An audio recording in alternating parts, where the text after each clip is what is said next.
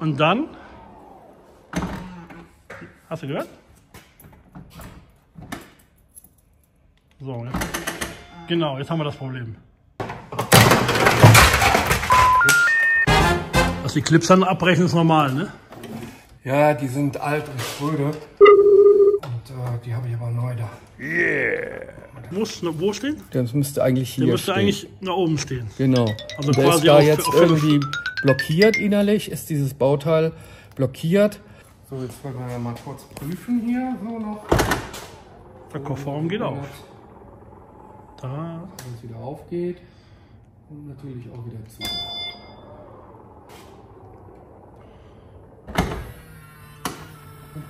Wenn der Kofferraum nicht zugeht, dann geht auch kein Autopilot ne? und äh, geht auch kein äh, Tempomat. Ne? Genau, also vorne im Display wird das als, als geöffneter Kofferraum angezeigt und damit kann man zwar notfalls noch fahren, aber nicht halt den Autopilot oder Tempomat. Das sind die Dinger, die gehen öfters kaputt. Äh, schade eigentlich. Also jetzt Mercedes-Bauteil, das ist auch so nach einem knappen Jahr schon wieder kaputt ist.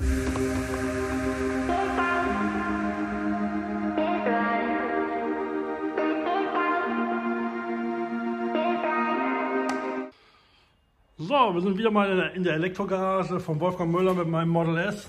Wolfgang, was habe ich dir erzählt? Was haben wir wieder für ein Problem? Irgendwas mit der Heckklappe, ich weiß auch nicht. Du sagst, das geht wieder nicht. Da Also Kofferraum. Ko Geräusche gegeben beim Zumachen. dann drück mal auf. Ich guck mal. Ja, Jetzt- jetzt, geht's. War wieder klar, ne? Ja, ich weiß nicht, du hast immer irgendwie so Sachen, die komisch sind. Gestern Abend bestimmt 100 Mal gedrückt, ging nicht auf. Ne? Ich hätte zu wenig Strom gehabt vom 100 Mal drücken. Kann natürlich sein. Hast jetzt, jetzt ja gar nicht äh, richtig eingerastet, ne? Ja, jetzt dieser Zuziehmotor scheint nicht zu funktionieren. Ne? Mach nochmal. Nee, also wenn die Position perfekt ist, dann macht er das nicht. Und äh, versuche jetzt nochmal. Kann natürlich sein, weil beim nächsten Mal, dass es dann auf einmal zuzieht. Nee. Hm. Aber wie gesagt, das Problem kenne ich. Wenn das eigentlich perfekt ist, dann macht er das nicht. Und wenn, ähm, wenn die so ein bisschen verstellt ist oder keine Ahnung, wie man es formuliert, dann zieht er das richtig zu.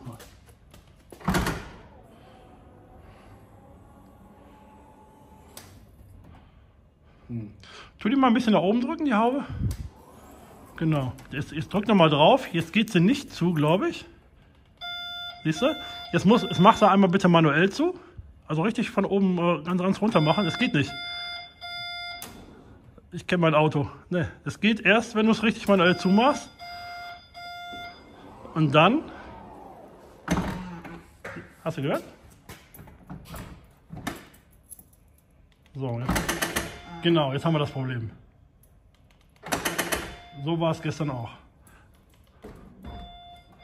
Sieht so aus, als würde der hier auf der Seite nicht richtig drücken. Jetzt haben wir es wieder kaputt repariert. Genau. Und jetzt die Lösung, damit ich wieder fahren kann. Ich muss nach vorne gehen, auf, am Display auf Schließen machen Okay. und dann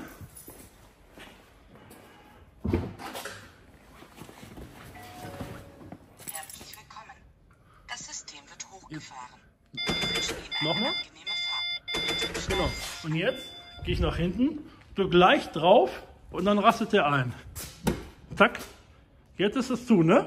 Ja, Siehst du? Also wie es repariert. Und jetzt ist wieder auf. Und du kriegst auch nicht äh, geschlossen. Jetzt kann ich wieder leicht, komm mal kurz gucken.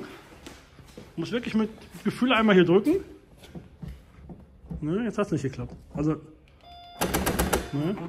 also du merkst richtig, wenn du drückst, dann macht er klack und dann ist es wieder zu. ja.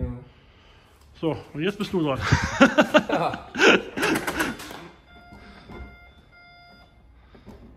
Also ich habe alles schon möglich schon gemacht. Ich habe gezogen mit, mit Gewalt, ohne Gewalt. Und wie gesagt, wenn du hinter zweimal drückst, einmal kurz antippst hier, dann schließt er wieder. Ne, das ist, wie gesagt, du musst ins Auto gehen. Ich weiß nicht, warum, warum, warum das so ist. Zweimal. So, jetzt komm noch mal raus und tipp mal an, dann wird es eigentlich gehen. In der Mitte einmal leicht drücken. Ne, jetzt hat's. Eben hat's ja geklappt, aber. So, Wolfgang, du wolltest auf Toilette, jetzt denk mal drüber nach und wir kommen gleich wieder, ne?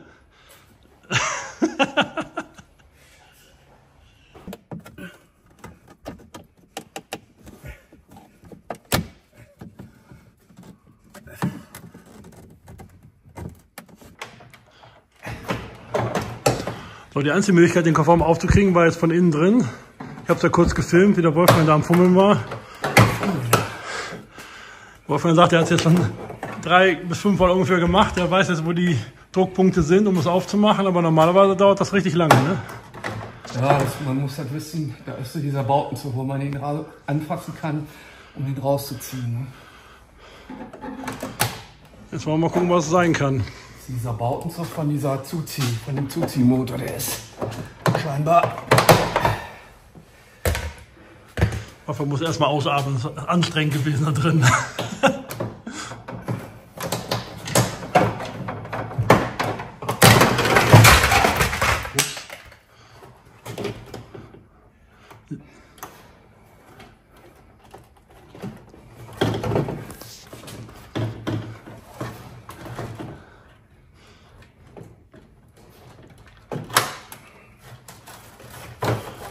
Dass die Clips dann abbrechen, ist normal, ne? Ja, die sind alt und spröde. Und äh, die habe ich aber neu da. Wir haben das Problem gefunden.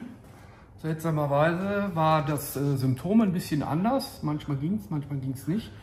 Aber grundsätzlich ist es so, dass dieser Stellmotor, der aber auch schon mal erneuert wurde, ähm, hier auf zu steht. Das heißt, er versucht die Kappe die ganze Zeit zu schließen und damit funktioniert er das ganze System nicht. Jetzt hat man noch einen gebrauchten Stellmotor da, dann kann man dann halt schnell helfen. Also die, die Ruheposition von diesem Motor ist so, dass der hier in diesem rechten Winkel stehen muss.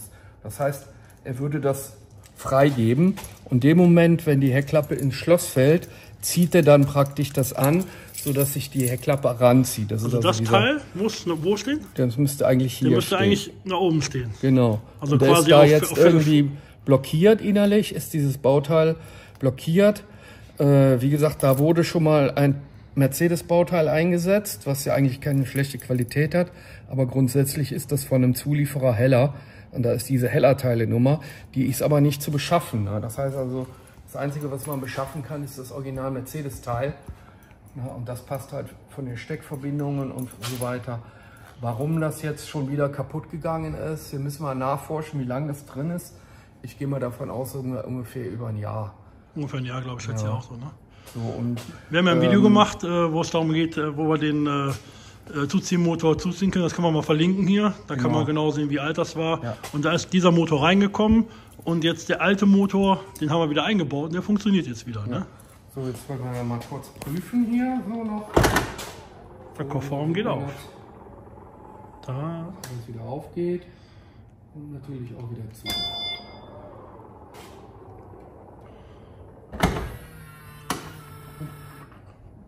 Diesmal hat er ein bisschen länger gebraucht. Ne? Mal nochmal. Einmal zur Bestätigung noch. Weil er zieht ja nicht immer zu, ne? Also er geht zwar Das zu dann. Halt, je nachdem, wie, wie, wie satt die da reinfällt, dann wird die wahrscheinlich von dem Mikroschalter hier das Symbol Befehl gegeben, dass kein Zuziehen erforderlich ist. Dass er dann schon ordentlich drin ist. Hm. So. Okay. Ja, das sind die Dinger, die gehen öfters kaputt. Äh, schade eigentlich. Also jetzt Mercedes-Bauteil, das ist auch so nach einem knappen Jahr schon wieder kaputt ist, kann ich im Moment nicht nachvollziehen, warum. Ja, aber da kann ich auch nicht reingucken. Ne? Ja gut, dann tausend Dank, dass wieder alles läuft. Kofferraum geht wieder auf und zu. Dark Angel ist wieder on the road. Aber man muss natürlich dabei sagen noch, wenn der Kofferraum nicht zugeht, dann geht auch kein Autopilot ne? und äh, geht auch kein äh, Tempomat. Ne? Genau, also vorne im Display wird das als, als geöffneter Kofferraum angezeigt und damit kann man zwar notfalls noch fahren, aber nicht halt den Autopilot oder Tempomaten benutzen. Alles klar. Christian Sasser für News on Tour, Wolfgang Müller für elektrogarage.com. Ciao. Der Tesla-Gutachter.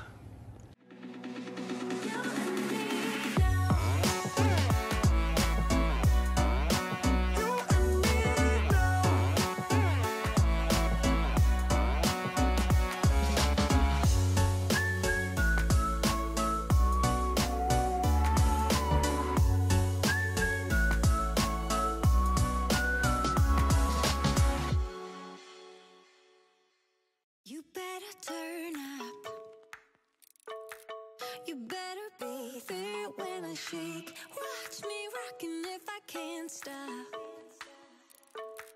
If I should fall, just go ahead.